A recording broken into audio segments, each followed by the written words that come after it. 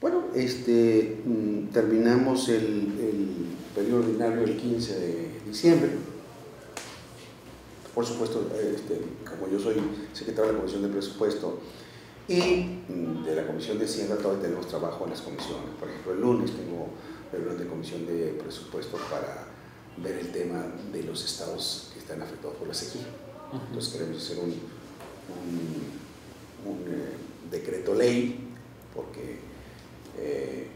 hay que recordar que el presupuesto ser la federación, de acuerdo con usted la, establece la, Constitución, eh, la Constitución, que es la anualidad, el principio de anualidad del presupuesto no se puede modificar salvo por ley posterior, así que establece la propia Constitución.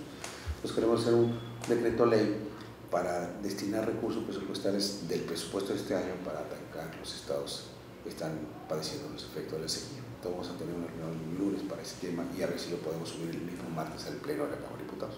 Así de rápido. Así de rápido. ¿Por qué? Porque tenemos un grave problema de la sequía. Qué bueno que está lloviendo ahorita en Sonora, pero en los estados que no les ha caído una bota en Durango, Zacatecas, San Luis, etcétera, etcétera, en Chihuahua, este, un grave problema de sequía que tienen ahorita. Entonces vamos a hacer el lunes, entre el lunes y la semana que viene, pero el lunes tenemos reunión de la Comisión de Presupuesto. Y luego tenemos algunas eh, modificaciones de tipo legal que estamos viendo en la Comisión de Hacienda, sobre todo en materia financiera, mm, que todavía tenemos que trabajar en ellas. Eh, y el periodo ordinario se acaba el día 15.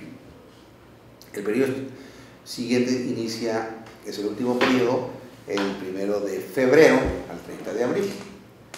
Este, y bueno, siempre esos periodos son más, más tranquilos, por llamarlo de una forma, y bueno, bajo un proceso electoral en ciernes, pues este, se tomar las cosas.